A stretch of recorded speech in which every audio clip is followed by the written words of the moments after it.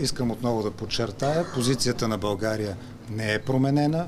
Да, под, да ви припомня също, че вчера Министерство на външните работи официално при участието в съвет общи въпроси потвърди тази позиция.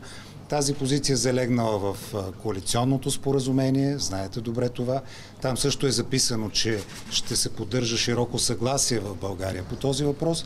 И на последно място бих препоръчал на всички вас да се запознавате и с оригиналните текстове, интервюта, които се дават, защото начина по който е цитирано това интервю в българските медии не е това, което е в оригиналния текст. Какво така, точно че, господин Петков? така че тези въпроси вероятно на него може да ги зададете, но подчертавам отново, българската позиция остава единна, тя е тази, която е потвърдена с решение на Народното събрание. В нашето споразумение пише, че тази позиция остава, но тя ще бъде надградена с идеи за нови съвместни комисии за сътрудничество в отделни сфери. Това е, може би, новото, което е имал предвид господин Петков в своята позиция.